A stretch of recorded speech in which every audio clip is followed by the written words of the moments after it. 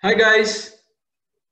Uh, we are going to continue with the second video or the second session of binomial theorem. In the in the last video, we have seen the basic of binomial theorem. We have seen some observations about binomial theorem.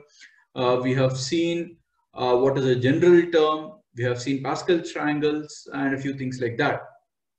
In today's video, we're going to get into the idea of multinomial theorem that is applying binomial theorem to cases where the variables are more than two right? Uh, so very quickly let's uh, go on. Well that's that's about me. I think all of you know me so i'll just skip this part quickly. Right so what is this multinomial theorem? Multinomial theorem as i explained in the last class is basically used to look at the expansion of two or uh, more than two variable to the power of n. It could be three or four or five variables, any number of variables to the power of n.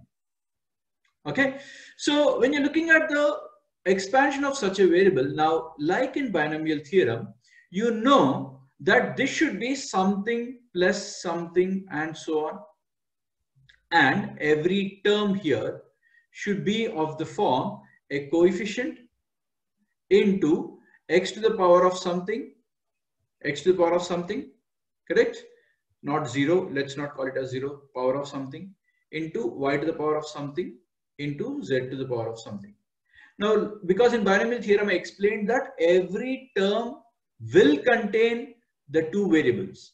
Here in multinomial theorem also, the first thing you need to understand is every term will contain all the variables. The powers of some of them can become zeros. That's okay. But technically all variables will be present. So when you look at expanding the uh, multinomial theorem, using the multinomial theorem, if you expand this, let us say there are m variables raised to the power of n, then the expansion should look somewhat like this. It is a sigma. Sigma means sum. It is sum of some coefficient will be there right? Always there'll be some coefficient multiplied by the first variable raised to some power, second variable raised to some other power, and so on and so forth. All variables raised to some power. This is how it should look because that's that's basically how every term will look like as we have seen in binomial theorem. Same thing will exist in multinomial theorem also. There's a way in which it should look. Now, before we write the entire formula, let us understand few things about the terms which are going to be formed. When it comes to multinomial, in binomial theorem, guys, expansion and remembering the expansion is of importance. And we also understood what is happening in each term. When it comes to multinomial theorem, expansion actually is not much of a use. Mostly you, you don't end up using expansion at all. However, what is very important for you is to make sure that you understand what is happening within each term. That is where our focus is going to be on. Okay, so let's first take three terms and observe what is happening. If I take x plus y plus z whole power n, I can group x plus y together and I will call it as a. Now this becomes a binomial expansion. It is a plus z whole power n. This binomial expansion, I know what to do. It's basically uh, a basic binomial expansion. I know what, what is happening here. This, this is as per the expansion. Now, once I write it, I will take any one term and I'll observe. Let's take the first term.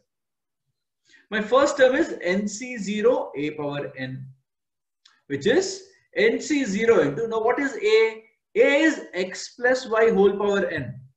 So this itself will become NC0 into now binomial expansion of x plus y, which is NC uh, 0 x power n plus NC1 x power n minus 1 y and so on up to NCN y power n.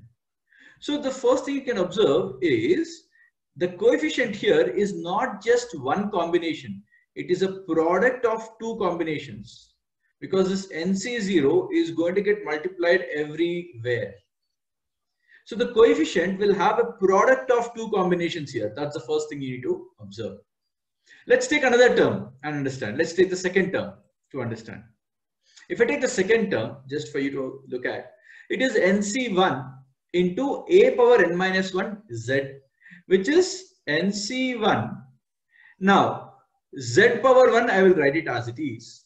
Now, x plus y whole power n, I can write my binomial expansion for x plus y whole power n minus 1. When I do that, I will get n minus 1 c 0 and x power n minus 1 plus n minus 1 c1 x power n minus 2 y plus n minus 2 c2 uh, x power n minus 3 y square and so on up to n minus 1 c n minus 1 y to the power of n minus 1. Now if you expand this, this will become nc1 into n minus 1 c0 correct and x power n minus 1 now y is not there so i will write y power 0 and z power 1 second term here will become nc1 into n minus 1 c1 okay? And x power n minus 2 y and z.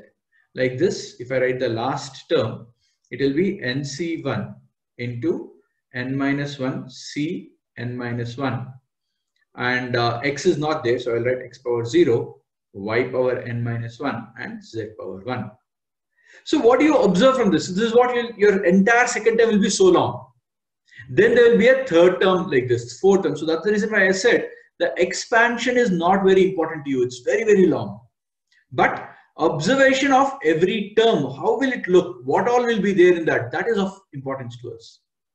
So what is the first observation your first observation is that sum of the powers is always equal to n. Sum of the powers is always equal to i'll just erase this part for you to look at it. Okay. So sum of the powers is always equal to n. You can see n minus 2 y power 1 z power 1 x power 0 n minus 1 z power 1 if you look at the previous term, okay, if you look at the previous in this, here z is not there, but x plus y whole power n automatically inside this expansion, every term will be adding up to uh, power n. So basically sum of x power, y power, z power should be equal to n, just like in binomial theorem. It is very similar, right? Let's look at the second observation the coefficient now it is not a single coefficient which means it is not one nc it is now two ncs and they are of the form nck into n minus k cp okay so basically it is in the form of two uh, terms. So if you notice it is nc1 and n minus 1 c1 so if this is k then it will be n minus k. If you look at the first in the first uh, term if you look at it nc0 into it is nc0 x power n plus nc0 x power n minus 1 and y and so on. So the multiplication here is nc0 into nc0. So because this is 0, n minus k became n itself. Correct? So this is how the terms will be, the, the coefficient will be. It's a product of two combinations. Right? If I want to, if, if you want to uh, see the third term, what will be the third term or Third term will be NC2 a power n minus 2 z square, correct? Which is NC2 into, now z square I will write it as it is, z square into, it is x plus y whole power n minus 2. Now every time inside the bracket it will be n minus 2 c something and outside the bracket is it, it is nc2. So if you notice this is your k and this is your k minus n minus k. So every time the product will be of the form NCK and N minus KCP. That's how it's going to be. Right? Now, the next thing, uh, the next observation, let's take a look at what is the next observation. Now, this we already discussed, every term xyz raised to the sum power k, l and m, the sum of the power should always be equal to m. The sum of the power should always be equal to n. KLM, the powers of the variable should always be equal to n. Now, the fourth is about the number of terms. Now, this is very interesting. So, the number of terms, remember guys, so in, in the first, somewhere if I get x square, uh, let us say I'm writing x plus y plus z whole power 10. Now, when I expand this, the number of terms depend on how many different ways I can write x power something, y power something and z power something in distinct ways. So for example, if I write x square y cube z power 5 and if I have another some coefficient here and somewhere else I'm getting the same x square y cube z power 5 this will not be counted as two terms. They will end up getting added. Correct? They will end up getting added. So my unique terms my unique terms will basically are those which cannot be clubbed together which cannot be added which means my x power, y power and z power cannot be uh, same. So uh, when I say they cannot be same, the point is how many different ways can I write x power, y power and z powers? How many different ways can I write x power, y power and z powers? Because if I if I say x power 1, y power 6 and z power 4 or z power 3 because uh, it is x plus y plus z whole power 10. In this, if a term like this exists, any other term like this which comes in the expansion will be clubbed together. All of them will be clubbed and all the coefficients will get added and I'll get a final coefficient. I will get a final coefficient. Similarly, if I have x square, y square, z power 6, all such terms will be clubbed and the coefficient will be a single coefficient. So my number of terms depends on how many ways can I write the powers as the total as n. So if I say my term will have x power k, y power l and z power m, how many ways can I write k plus l plus m, the total equaling to n? Depending upon how many I can write, those many terms I'll have. For example, few of the example, the terms can be 1, or rather let's look at the smallest. 0 0 and 10 this is one term possible. 0 1 and 9 0 2 and 8 and so on. Similarly i can write 1 0 9 1 1 8 like this i can write all terms. So like this all of them are going to be different different terms because they cannot be further clubbed together. Clearly none of these terms are going to be common with any of the terms here this will never be common with any of 0, 2, 0, 8, 2, 1, 7. None of these will be common. So because these are all distinct terms, that will be the total number of terms. So my question now becomes, how many ways can I write k plus l plus m equaling to n? Right? So depending upon how many ways I can write. So it's the addition of all of these number of ways. Now this, thankfully, you don't have to write down everything or count everything. You have a formula for this, which comes from your permutation and combination. Okay. So we will see what is the formula that will be coming uh, for the number of terms, right? So that's what we're going to calculate next. How many terms are there in this expansion? So you know that each term will be of the form variable and its power, another variable and its power, and so on and so forth. Correct? So I already explained the total number of terms is the number of ways of writing the powers such that the sum of the powers is equivalent to n. The sum of the powers is equivalent to n. So the number of ways of writing this becomes your answer. And thankfully, from your permutation and combination, we have a formula for this. It is the answer for number of non-negative integral solutions for variables total equal to n. If you, if you remember your PNC or if you haven't done your PNC, please wait for it to be completed. If you have done your PNC, you should be knowing this. It is basically the number of non-negative integral solutions formula. Because remember, all these powers are positives or zeros and they should be adding up to n. So that is your logic. Okay, Right, so the number of terms is given by n plus m minus 1, c m minus 1. Right? Now, if you're looking at the coefficient of a term, how will the coefficient of a term look like? So if you want to find the coefficient of this, there is a direct simple formula for this and it is given by this formula. So if you want to find the any particular coefficient of a term, it is given by n factorial divided by the power factorials, product of all the powers and their factorials. Which means, let's look at this. If I look at x plus y plus z whole power 15 and I want the coefficient of x power 5, y power 7 and uh, z power 3. Make sure that the total adds up to 15. Okay. Then the answer is given by 15 factorial by 5 factorial, 7 factorial and 3 factorial.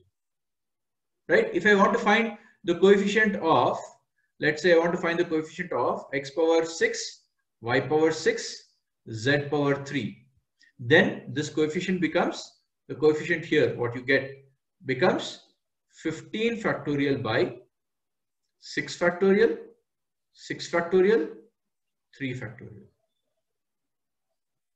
Okay, this is the final factorial. After adding all similar terms like this, the resultant is this factorial.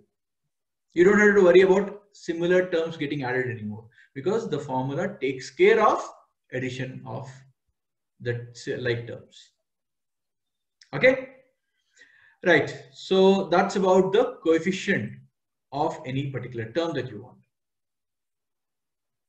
okay? Now uh, you might be thinking why have we not yet discussed the expansion? And if you're insisting as i kept mentioning it is not really required but if you're really insistent upon it this is how the formula looks. This expansion is this. It's an unnecessarily lengthy formula which basically tells you that it is the addition of, you will look at n factorial by, let us say the first one will be, uh, okay, if I want to write this, let me take this and write for three variables, x plus y plus z whole power 10. Now my different terms, first of all, let me write down all the different terms. x power 0, y power 0, z power 10, correct? Next will be x power 1, uh, sorry, x power 0, y power 1, z power 9. Next term will be x power 0, y square, z power 8. Like this, you have to write all of them and the coefficients are given by, if you remember the coefficient formula, it is 10 factorial by 0 factorial, 0 factorial and 10 factorial. Here the coefficient will be 10 factorial, 0 factorial, 1 factorial and 9 factorial. Here the uh, coefficient will be 10 factorial, 0 factorial, 2 factorial, 8 factorial and so on. You keep writing all of them. That's what the formula means. So keep writing all different different powers and based on the powers you write your respective coefficients. That is the entire expansion. That is why I said you don't use this ever in your problems. But what you use in the problems is number of terms, how do you calculate the coefficient of a particular term? Uh, observation about the sum of the powers always being equal to constant, which is n. These are the things which you use in the problem solving. Right, friends?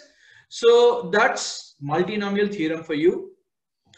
I hope it was interesting. In the next session, we will take up few applications of what we have just learned. And that will be the last video. Right? Thank you. See you in the next session.